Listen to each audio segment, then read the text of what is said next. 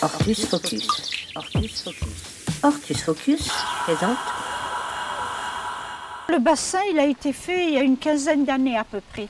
Alors j'avais commencé par un bassin préformé et puis après euh, j'ai voulu agrandir.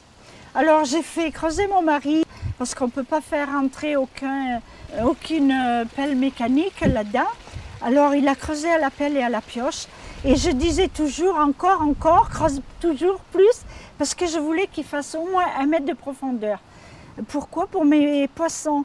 Parce que mes poissons, l'hiver, elles hibernent et elles se mettent dans la vase. Alors voilà, euh, je ne voulais pas qu'au printemps, je retrouve des findus.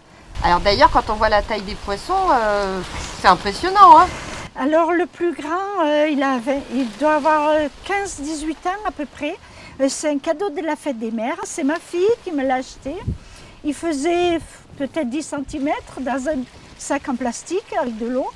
Et puis depuis ce temps-là, il a grandi, grandi.